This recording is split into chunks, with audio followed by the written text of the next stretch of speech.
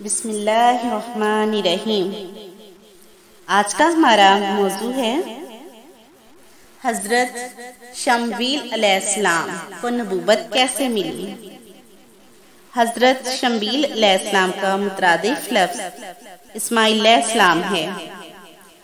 इसके मायने है, खुदा ने दुआ सुन ली। इनका ज़िक्र आयत नंबर छियालीस बकरा में आया है तर्जमा, ए महबूब, क्या तुमने न देखा बनी इसराइल के एक ग्रोह को, जो मूसा के बाद हो जब अपने एक पैगंबर से कहा, जमात वालों ने हमारे लिए खड़ा कर दो एक बादशाह कि हम खुदा की राह में लड़े।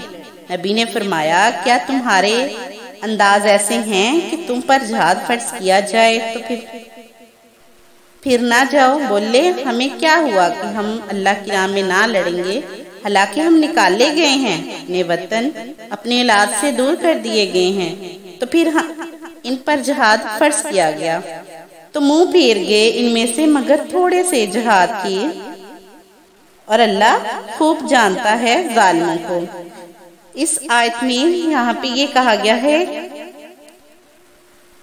हमने खड़ा कर दिया एक बादशाह को हम खुदा की राह में लड़ेंगे। इसमें बहुत से मुफसरीन मुतफिक हैं कि ये हज़रत शमवील इस्लाम के बारे में है। और फिर बादशाह जो मुकर हुए, वो हज़रत आलूत इस्लाम थे। और थोड़ी सी जो जमात बाकी रही, फिर तालूत और जालूत की आपस में जो जंग हुई थी, लड़ाई, उसमें कुछ लोग चले गए थे थोड़े से। बाकी रहे थे। बढ़ते हैं अपने मौजू की तरफ़ कि हज़रत शमबील इस्लाम को नबूबत कैसे मिली। मूसा इस्लाम के बाद यशूल इस्लाम इनके बाद हज़रत कालब इब्न लोकाना के बाद हज़रत हजाकील खलीफा हुए। ये हज़रत इस्लाम अपने अपने जमानों में तोराज शरीफ के काम जारी फरमाते और यहूद की इसलाह करते। थे हज़रत जकील इब्न यूजिल इस्लाम के बाद बनी इसराइल का हाल बहुत खराब हो गया। उन्होंने खुलम खुला बुत परस्ती शुरू कर दी। तब हज़रत लियास इब्न नसा इब्न खास इब्न उजैर इब्न हारून इस्लाम अबूस उन्होंने बनी इसराइल के एक बादशाह की मदद से कुछ इसलाह की, मगर इनके बाद फिर बनी इसराइल का हाल खराब हुआ।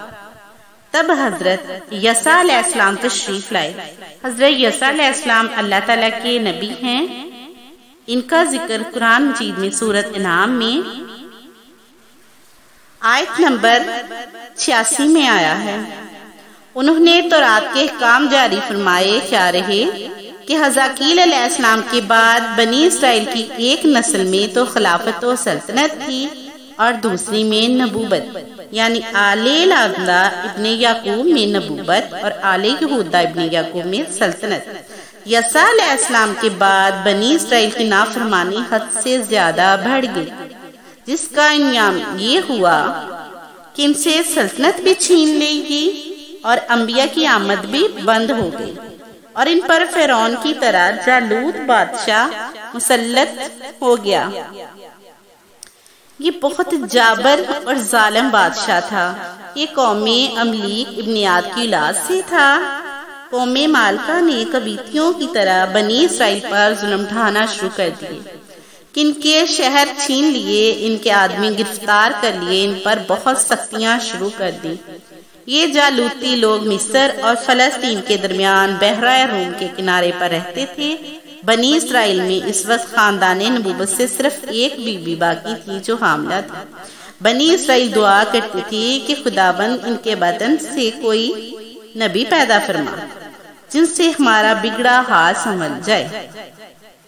चनाचे इनके बतन शरीफ से हज़रत शमबील पैदा हुए। क्या रहे लफ्ज? शमी और ईल से बना है ब्रानी में शमू के मायने हैं, सुन ली और ये अल्लाह का नाम है। इनकी वालदा बेटे की बहुत दुआ मांगती थी। जब ये पैदा हुए तो बोलनी अशमील यानी रब ने मेरी दुआ सुन ली। यही इनका नाम हुआ हज़रत शम्बील। जैसे कि हज़रत इब्राहिम अपने फर्जंद के लिए बहुत दुआएँ की और हमेशा दुआ के आखिर में अर्ज़ करते इस्माइल इसके मायने होते हैं कि या अल्लाह मेरी सुन ले। जैसे कि अब हम दुआ करते हैं और आमीन कहते हैं। इस तरह से इस्माइल। जब फर्जंद पैदा हुए तो इसकी दुआ बार जो उसी की याद में अपने फर्जंद का नाम इस्माइल रखा।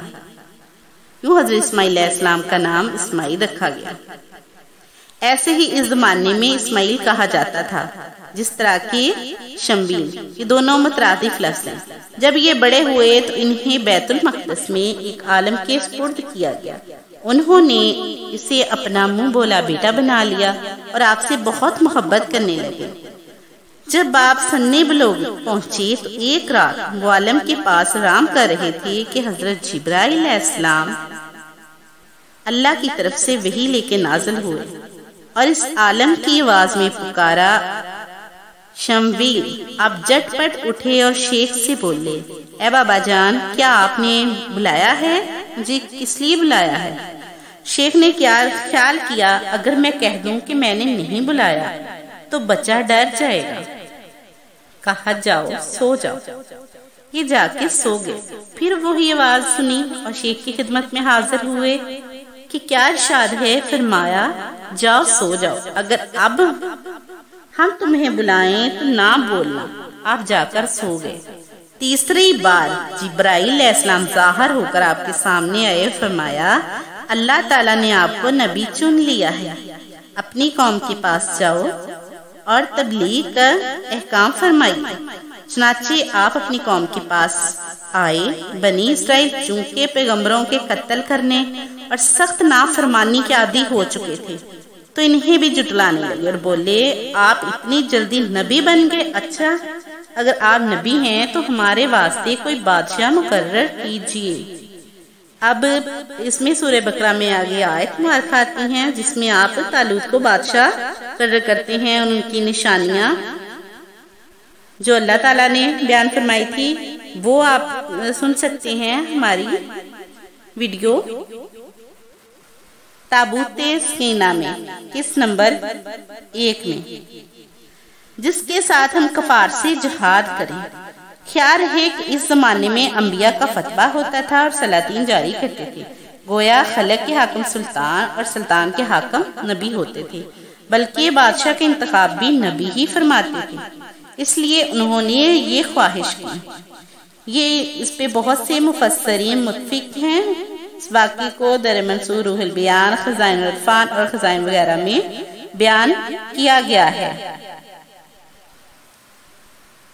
फिर हज़रत शम्बील इस्लाम ने, जब हज़रत आलूसलाम को बादशाह चुन लिया और उनके ज़रिए जहाद के लिए कुछ जमात भेजी तो हज़रत दाऊद इस्लाम के हाथों जालूत बादशाह कत्ल हुआ और हज़रत दाऊद इस्लाम हज़रत आलूसलाम के दमाद मुंतखब हुए और उन्हें सल्तनत मिल गई। ये वाक्य आप जानने के लिए कत्ले जालूत वीडियो देख सकते हैं। हमारी वीडियो आपको पसंद आए इसे लाइक कीजिए, वीडियो को शेयर कीजिए स्वाब के लिए से चैनल को सब्सक्राइब करें। अल्लाह हाफिज।